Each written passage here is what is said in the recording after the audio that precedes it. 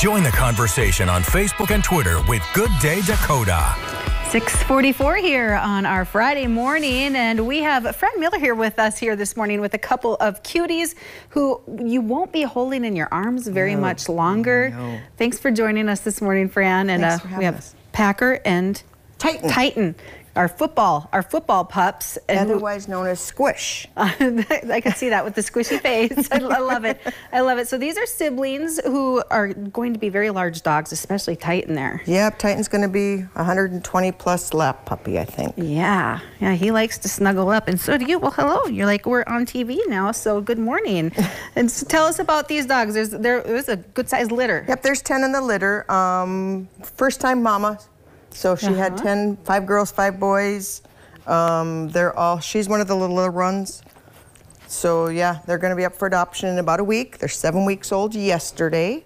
And I was midwife to Mama. Oh, and how is Mama doing? Is she up for adoption as Mama well? Mama will be up for adoption as soon as she gets fixed and mm -hmm. as soon mm-hmm. as she gets her eyelids taken care of. Okay. She's got all reversed right. eyelids. Oh, very interesting. But she's a busy mama with 10 puppies. Well, hello. We're, we're, we're uh, very active now. We decided to wake up. Yes. And, um, so seven weeks. So like we said, these dogs are going to be large. They're considering be big. yep. these are only seven weeks right now. Yep, they're going to be they're going to be big dogs. Um, you can tell by the feet and all mm -hmm. the mm-hmm. extra. Yes, yes. All right. So an, another week or so, and they'll be up for adoption.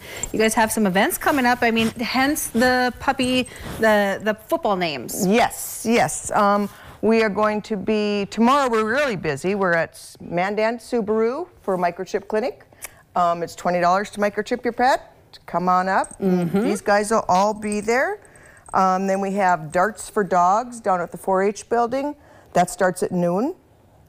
And that's tomorrow as well? That's tomorrow as well. Yeah, we only have four events going tomorrow. um, then we have the Petco uh, Trunk or Treat. That starts at 1. Well, hello. Oh, Titan. Um, and then we have the Halloween Town starts at, I do believe, 11. Okay, there we go. Halloween Town. So four events this weekend. You are all going to be busy. Yes. All hands on deck. Yes. And you always continue to need all, need all hands on deck because yes. you, I mean, the puppy situation, the kitty situation, I imagine, is still the same. It's still the same. It's actually getting worse. It's uh, especially with these winter months yep. and this wintry weather. Especially now that the cold and snow yeah. is here. So so help out furry friend. Lots of opportunities this weekend to do so and uh, yes. to meet these cute, sweet faces. So thank you so much, Fran, for joining us this thank morning. Thank you for having us. Thank you, Packer. Oh, he, she's like grabbing onto my hand. Oh my gosh, she's like literally grabbing my hand. See, she says, give me a home.